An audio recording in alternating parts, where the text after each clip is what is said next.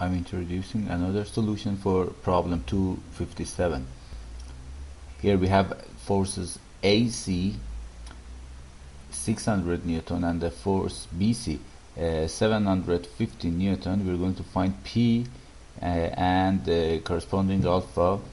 So in another solution I use the forces triangle here. I'm going to use the uh, three vectors I'm going to show the free body diagram of the problem.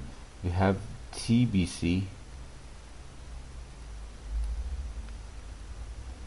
TBC uh, as a vector uh, with the 25 degree angle with the horizontal line. And then we have TAC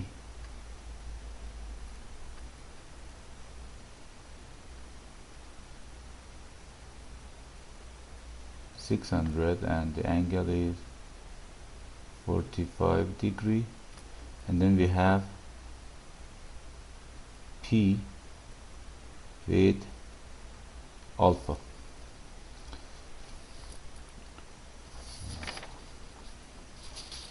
First I write the equilibrium in x direction which is sigma f x equals 0 so TBC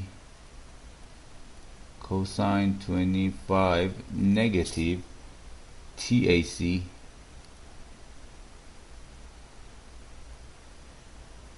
times cosine 45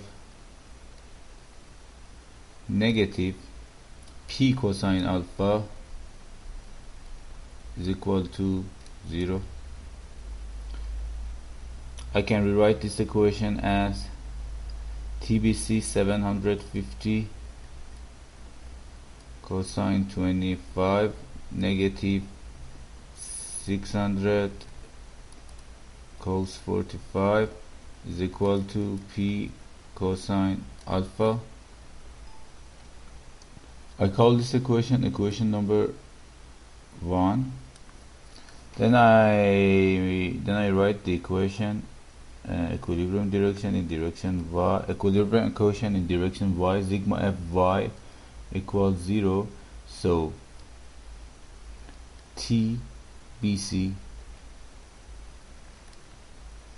sine 25 plus tac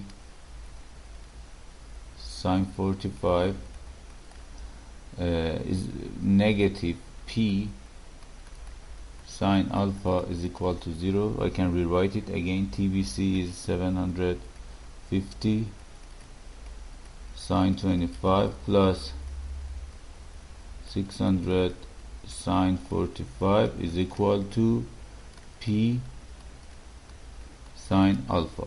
I call this equation equation number 2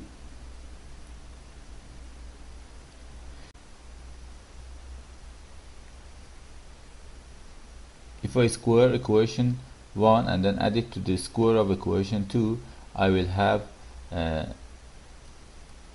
750 cosine 25 negative 600 cosine 45 squared plus 750 sine 25 plus 600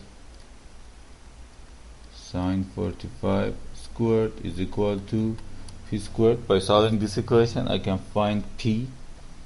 P according to this equation is 784 newtons and alpha if I divide equation 2 by 1 I will have tan alpha equals uh, 750 sine 25 plus 600 sine 45 over